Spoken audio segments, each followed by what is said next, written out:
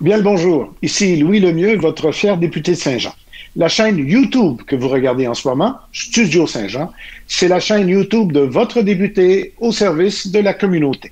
Et bientôt, on comptera 100 000 minutes vues sur la chaîne de conversation, d'entretien avec les gens de la communauté, parce que le but de Studio Saint-Jean, c'est de permettre à la communauté de communiquer plus et de communiquer mieux entre elles pour aider des gens. À cause de la pandémie et à cause du dernier couvre-feu, on avait décidé de mettre Studio Saint-Jean sur pause. Mais non.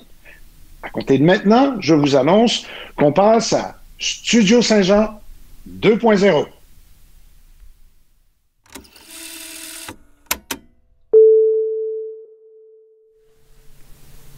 Rebienvenue dans le studio Saint-Jean 2.0, évidemment, puisqu'on est en mode virtuel. Ici Louis Lemieux, votre député de Saint-Jean, pour une entrevue très particulière.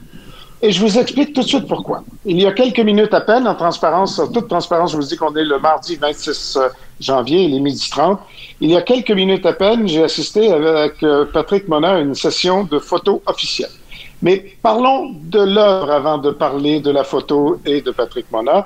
Voici donc des images que vous allez reconnaître parce qu'elles sont partout. On voit Loi Salvatrice régulièrement sur nos fils Facebook, sur Twitter, dans le journal.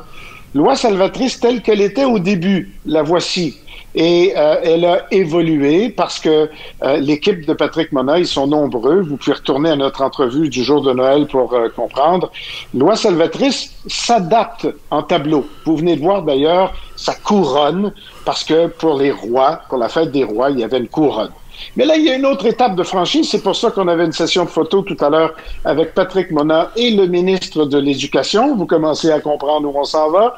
Patrick Mona est en direct du parc Honoré-Mercier où trône Loi Salvatrice. Salut Patrick. Bonjour Louis. C'est encore plus beau, peut-être parce qu'on la voit évoluer, mais effectivement, on va tout de suite expliquer ce qu'on voit, puisque j'ai dit que le ministre de l'Éducation était là pour euh, la séance de photos. C'est que vous avez un nouveau tableau. Ça fait quoi? Si on compte l'original, on est rendu à trois tableaux de loi Salvatrice, Oui, et celui-là, il est sur l'éducation. Oui, déjà trois. Déjà trois, Louis. L'éducation avec des livres, mais c'est l'image. Mais explique-moi toute la, toute la logique derrière ce tableau. Euh, on voulait faire, on voulait former des, des voiliers, des, euh, des voiliers d'oiseaux euh, permettant de, de positionner l'oiseau, positionner le livre en forme d'oiseau et dans le regroupant ainsi, former l'action et le, le mouvement autour de loi. Donc, euh, c'est certain que cette, cette œuvre-là, euh, par son expression très, très organique, euh, permet de donner toute cette valeur-là qu'est le, le- système de l'éducation. Et, et- et moi, j'y vois énormément de bienveillance et de sens. Chacun peut aller puiser dans cette œuvre-là, y compris, si tu veux juste nous montrer la tête de loi, y compris le mortier sur la tête, qui nous donne exactement le sens de la semaine de l'éducation pour tout le monde. C'est un symbole universel, mais les livres qui sont là, les, les, les, euh, les élèves qui lisent, les enseignants qui enseignent, tout ce monde-là, c'est à eux que vous rendez hommage avec ce nouveau tableau-là. Exactement, et euh, conçu par euh, avec deux de mes collègues, Joanne Fréchette et Diane Tremblay. Euh, Diane qui a, qui a fait partie intégrante de la réalisation de l'œuvre, euh, la base de l'œuvre, la loi salvatrice. Et, par la suite, donc, euh, on a voulu faire ce tableau-là éducationnel, vraiment pas piquer les verres, comme on dit. Non, tout à fait. C'est très réussi. Et il y a plein de choses qu'on peut dire. Mais la première chose qu'il faut que je dise, c'est que si vous voulez en savoir davantage sur le projet de loi salvatrice de Patrick Mona et de son équipe, vous allez trouver sur Studio Saint-Jean, ça avait été mis en ligne le 25 décembre, c'était notre cadeau de Noël, une, une longue entrevue sur l'idée derrière, la dimension artistique et aussi les personnages et les personnes, parce qu'il y a plein de monde autour de Patrick. Maintenant que j'ai dit ça, vous en allez où avec ça? Il va y en avoir combien de tableaux, Patrick? Euh, près de sept tableaux qui, va, qui, qui vont passer euh, le temps, les, les périodes, les fêtes. Euh, donc, on va se rendre facilement jusqu'à la mi-mai euh, pour fêter à, à la limite le Pâques. Parce qu'il faut jamais l'oublier, c'est une œuvre éphémère. Et par définition, une œuvre éphémère pourrait se détériorer. J'ai compris, euh, parce que je vous vois travailler, puis je communique davantage avec vous depuis un bout de temps, j'ai compris qu'en faisant des tableaux comme ça, ça vous donne une chance, pas de réparer, mais d'entretenir l'œuvre pour qu'elle puisse durer plus longtemps dans le temps. Là. Exactement. Donc, la, la visite euh, presque quotidienne de l'œuvre me permet ici de faire un suivi.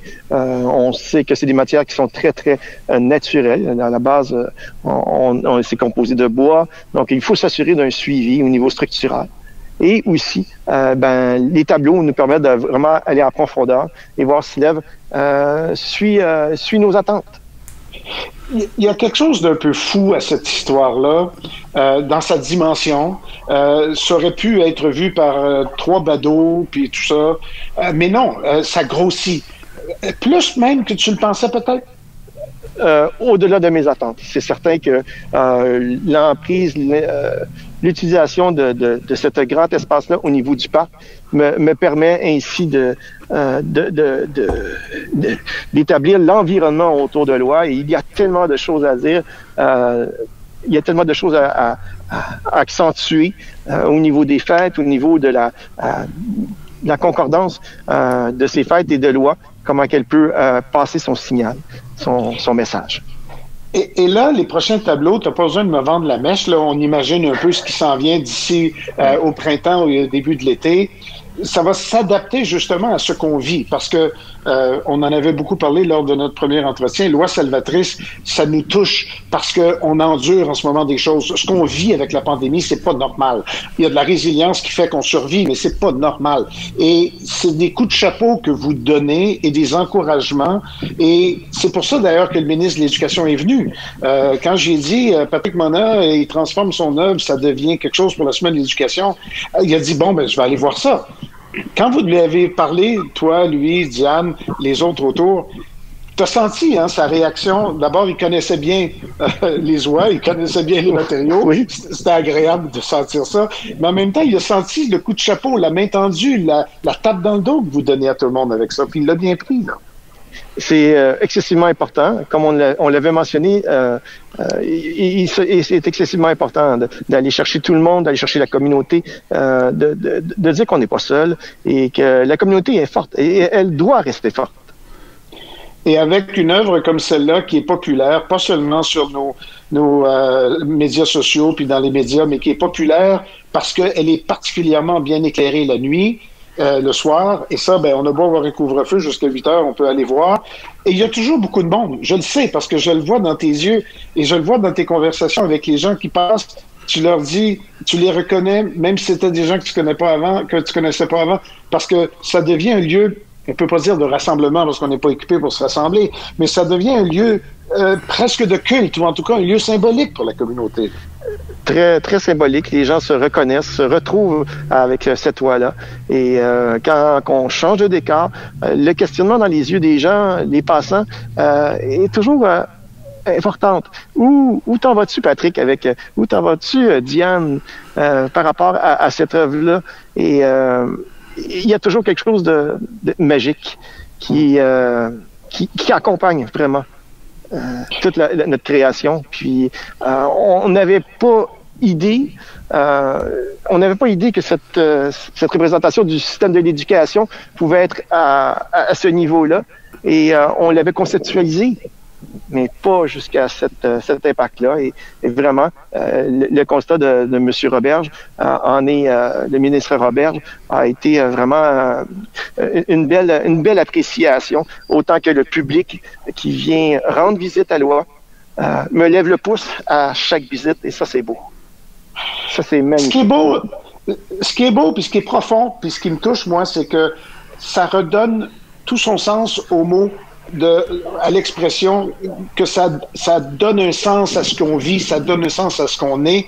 L'art, et surtout un art aussi euh, accessible comme le tien, prend tout son sens. Et ça, pour moi, c'est fondamental. Ce qui veut dire qu'il va falloir qu'on se donne rendez-vous au prochain tableau pour oui. continuer de suivre l'aventure. Et euh, pour ceux qui savent pas, tu tiens ton téléphone à bout de bras, à bout de bras, dans le oui. froid depuis dix minutes.